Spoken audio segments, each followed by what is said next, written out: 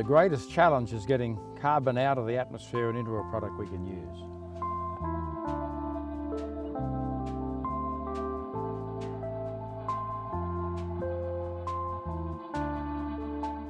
And in the end, it's a, it's a biological solution we look for, not an engineering solution.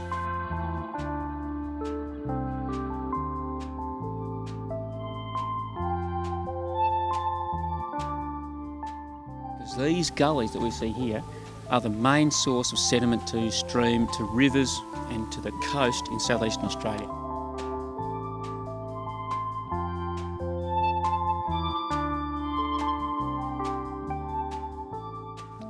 Uh, and it's the first national landcare project with NSF in Australia and we hope there'll be some more in the future.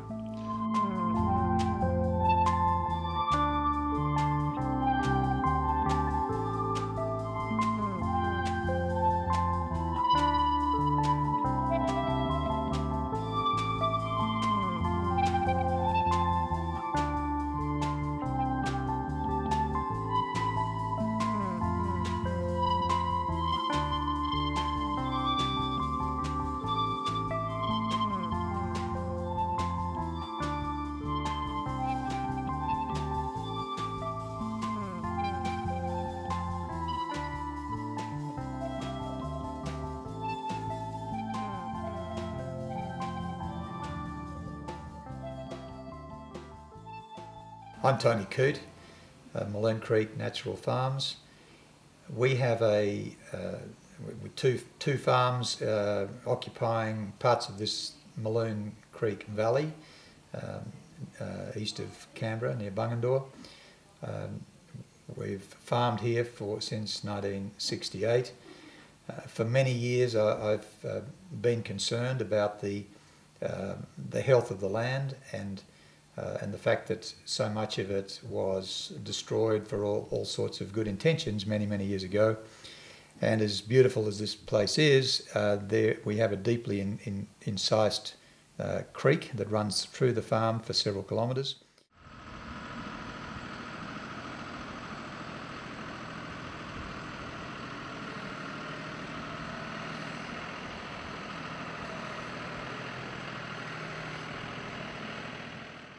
Ever since ABC ran the Australian story, it generated an unprecedented amount of interest in rural communities and, and landowners.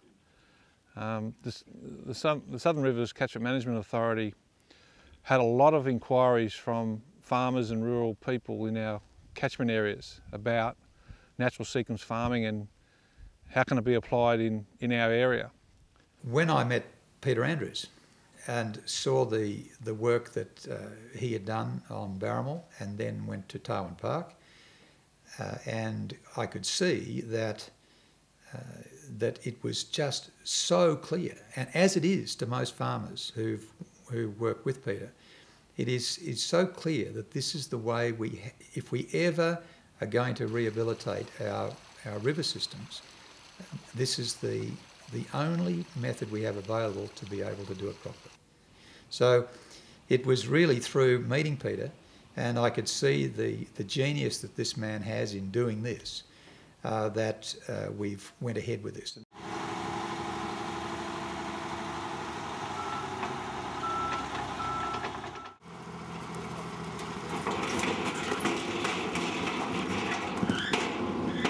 I've been kind of put in, you know, a couple of big rocks just up in on this ledge here, at the back of this there, and then build this wall across like that and fill it all back with just sediment right out of the bed so that you've got you end up having this filled.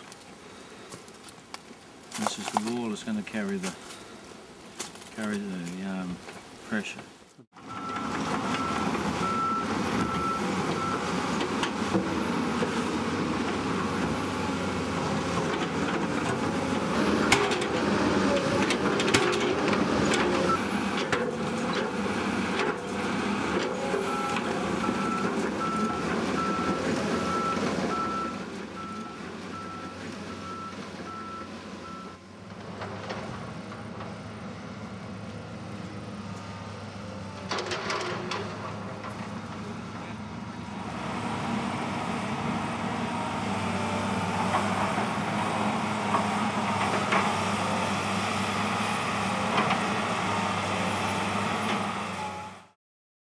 what we looked at here was this little delta. It was a recently eroded gully, so it was just rocks spreading down. We just put a, a row of rocks across to create a step, and this is really mostly designed for flood events to keep the energy of the water at a particular, in a particular range. But immediately you do something like this, you set off this step, and so what was gravel, like in the upstream, becomes sediment and grass below. It's as quick as the next flood. I mean, you can do it, and if you're, as I said earlier, if you was a good gardener, you could, and you knew how to distribute the different types of plants because as this extends, you'll get wetland plants growing this side and grass plants growing on the downside.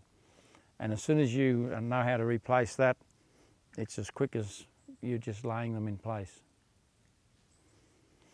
And the planting, by the way, is so critical to, to the whole issue because the, the physical structures are only there to, to, to get the system started and to hold, to hold things until the plant, till the vegetation gets established, then it does the job. And in the end, it's a, it's a biological solution we look for, not an engineering solution.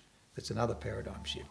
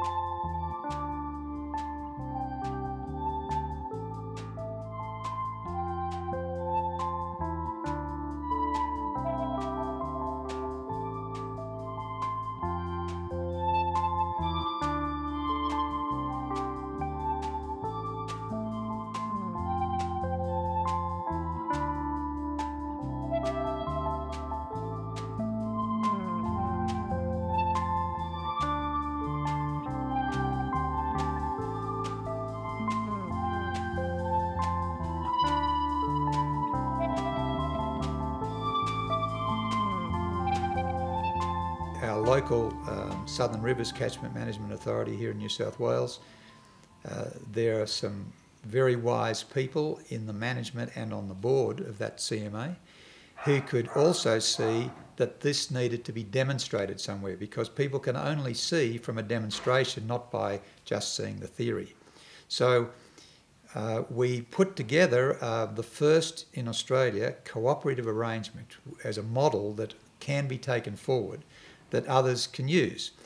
And so the, this model is with the, the CMA representing the state government regulators, funded by the federal government, um, working with the Landcare Council of this area, and we had all of the land care uh, groups meet together, and everybody put their hand up to, unanimously to say, let's go ahead with this demonstration. So that's the land care is representing the farmers in the community uh, and then the individual landholder, which in this case was, was me. I think Tony's commitment to this project epitomises rural New South Wales and rural landowners right across our landscape that are seeing this program as being something they want to be involved with. In all my years as a natural resource manager, which are now up to about 35 years, I haven't seen farmer involvement in natural resource management to the degree that they are with NSF. So Tony epitomises that passion and his commitment to this project is, is quite significant as a partner. And so we've got now, uh, we've got a model of cooperation between the, the landholder, uh, who is the steward of the land after all, and that's where the, what the farmers are, the stewards of the land. They're the ones who really have the effect. Uh, the, um, the land care uh, network throughout the region, which represents all the neighbours and the community. The uh, Catchment Management Authority representing the regulatory body, uh, and the federal government through the funding. Now, what what better uh, cooperation can you have in that? And then there's the scientific community, of course, that comes in to do to do the research, to do the measuring, uh, and to take it on further. There are two things that science has never really done properly, is analysed landscape hydrology so that everybody could understand it simply, and that means we could never understand biodiversity because it's the linkage of plants and the relationships between them that is biodiversity in the plant world, you know. It suggests if biodiversity is important that each plant is helping it, the other one in some way. And the only way they can be linked is by the movement of water and a certain amount in atmosphere, but mostly it's water. And we just haven't planned it. We haven't understood it and we don't set up a landscape relative to those components. Since we've put in the NSF works in this stream, which stretches some five kilometres, the stream flow has main, been maintained over um, you know, 12 and 18 months at a time. And at the moment, right in the middle of winter with hardly any rain over the last few months, there's still a base flow of, of two megalitres per day um, flowing out the bottom of this system.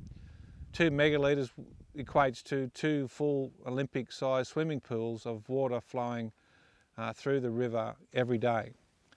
So in doing this work, it's actually re-established this stream to be a perennial stream, not an ephemeral stream, where permanent water flows through this stream, um, whereas before the works it didn't.